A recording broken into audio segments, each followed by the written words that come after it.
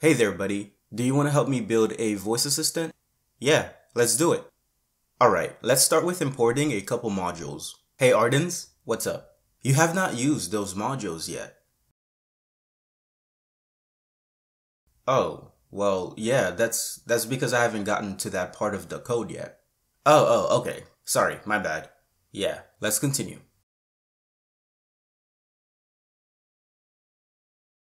Hey Ardens, yeah? That inline comment you just made, it should start with a hashtag. What? What do you mean? It does. Yeah, but I can't tell if you don't put a space after it. Um, okay. There. Now let's carry on. Wait, Ardens, wait! Bruh, what is it now? Before that inline comment, you should add two spaces instead of one. Are you, are you serious? What? I'm just warning you, bro. Okay, sure, fine.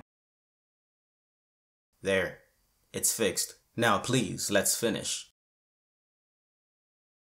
Hey Ardens? What? What's the problem now? Whoa, bro, relax. What's the issue?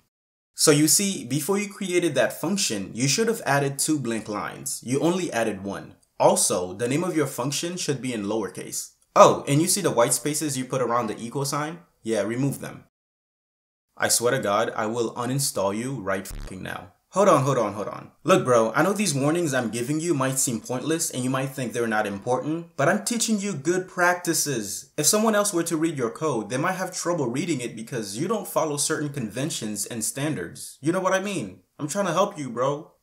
Hmm, yeah, I guess you're right. I am. Now let's finish up. Alright. Okay, we can stop here for today. Alright, looking good, looking good. Except for one thing. What? You forgot to put a new line at the end of the file.